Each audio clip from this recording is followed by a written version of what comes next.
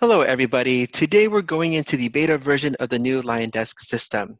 As you may have noticed, we have updated our platform and we're going to be rolling out new features throughout the release.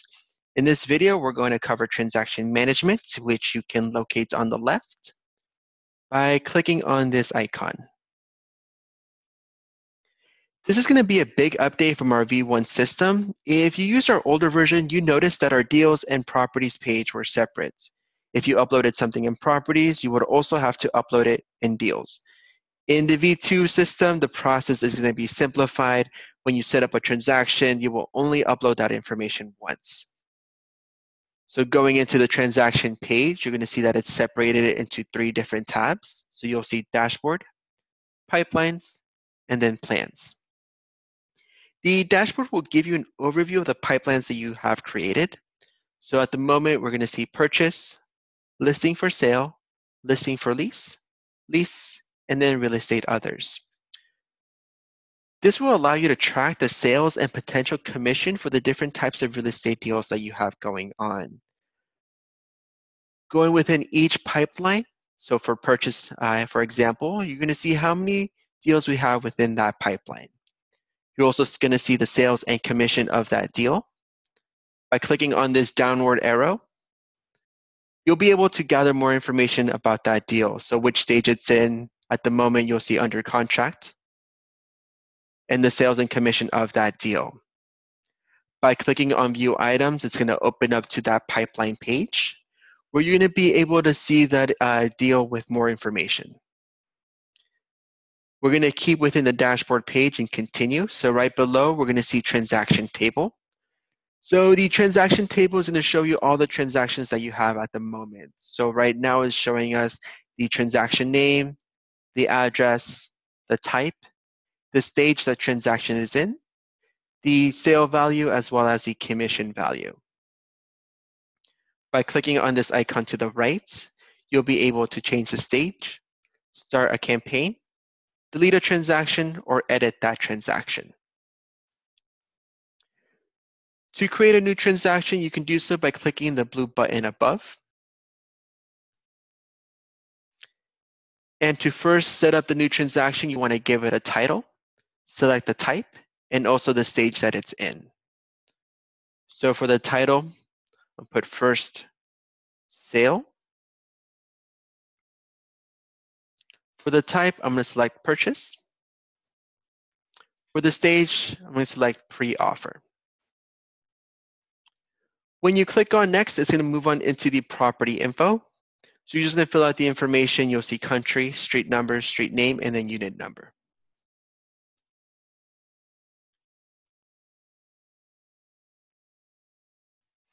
Five hundred Cannon Streets, unit number 10.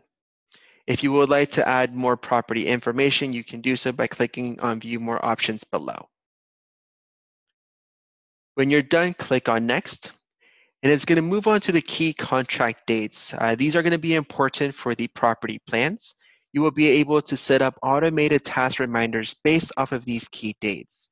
So you'll be able to set up the start date, closing date, inspection date, and offer date.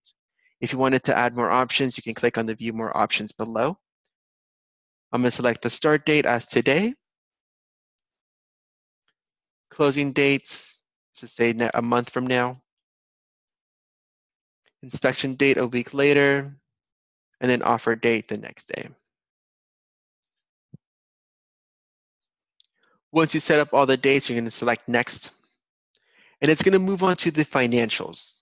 Uh, so importantly, you do want to set up the purchase slash sale price and then the commission percentage.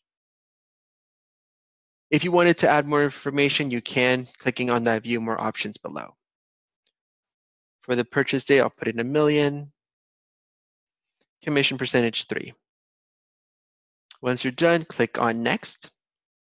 And then you're gonna fill out the contract information. You're gonna see transaction number, class, type, referral percentage, and if you wanted to, you can add more information by clicking on the view more options below.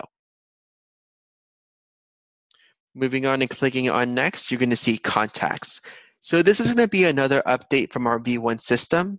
In the old version, you would only be able to assign one contact per property. In our V2 system, you'll be able to add multiple contacts. Simply start typing in the name of your contacts. Go LionDesk test one, and we'll add a couple more to it.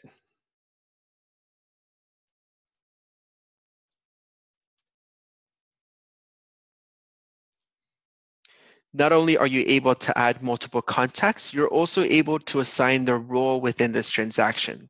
So by clicking on this downward arrow, you'll see the different uh, roles that they can take. So you'll see admin, buyer, buyer's attorney, buyer's agent. Scrolling down, you'll see loan officer, loan processor, and then seller, and so on. So simply assign the roles of the transaction and once you're done, click on Next. It's going to give you the options to set up another transaction or click Finish and Exit. So at the moment, we're going to click on Finish and Exit. Now that we set up that transaction, it's going to take us back to the dashboard and you'll see it added within the purchase pipeline as well as in our transaction table. By clicking on the name of that transaction, It's going to open it up and show me all of the information that I uploaded. So the first sale, when it was created on, what uh, type, as well as which stage it's in. It's going to show me the associated contacts I uploaded. To show me the transaction plans. At the moment, we have none available, but we're going to go ahead and add one next. You're also going to be able to scroll down below and select property info, key contract dates, as well as the financials. If you wanted to add a transaction plan, simply scroll to the top. You're going to see in the upper right-hand corner, Start Plan.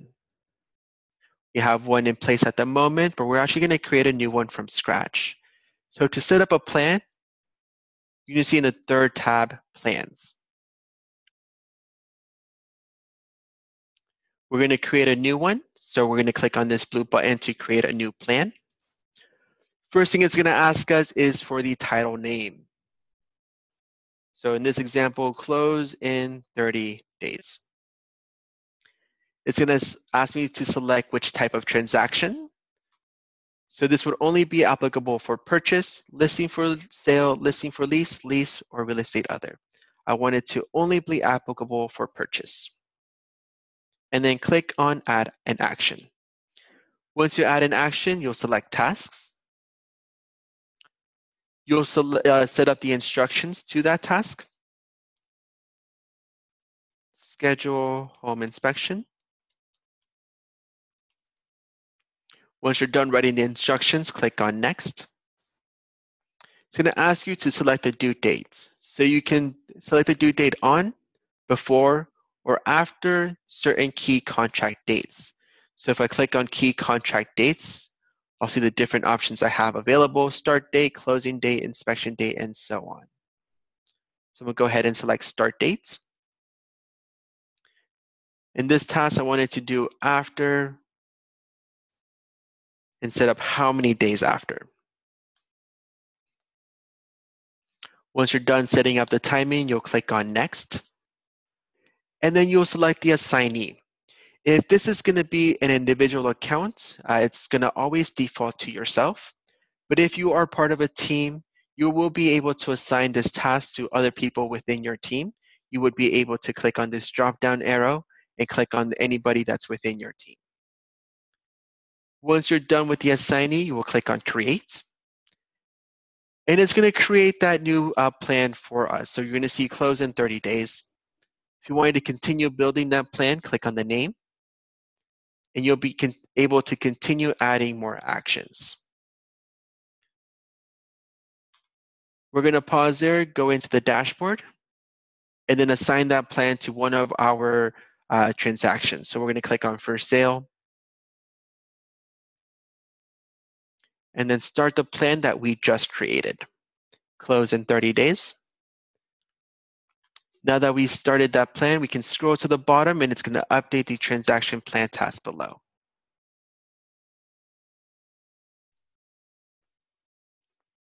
So now you'll see the due date, the assignee, as well as the task itself.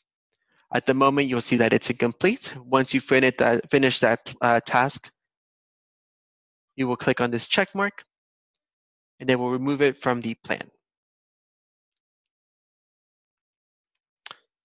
So going back to dashboard, we're going to move next to the pipelines. So again, the dashboard will only give you the highlights of each pipeline. If you wanted to have more information listed, click on that second tab, Pipelines. It's going to ask you first which pipeline you want to look into. So by clicking on this drop-down menu, you can select between purchase, listing for sale, listing for lease, lease, or real estate other. So I'm going to select purchase. If I look into the pipeline, it's going to show me the different stages, pre-offer, under contract, and so on.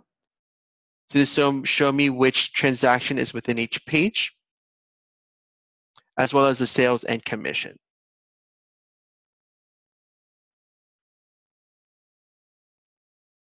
You will be able to set up a new transaction within this uh, pipeline. And if you wanted to edit the pipeline, you can. You can set up a new stage, so when you click on new stage, you can decide between in the pipeline or out of the pipeline. So once it's in the sales cycle or once it's out of the sales cycle. So I'm gonna select in the pipeline and I'm gonna set up a new stage, initial consultation.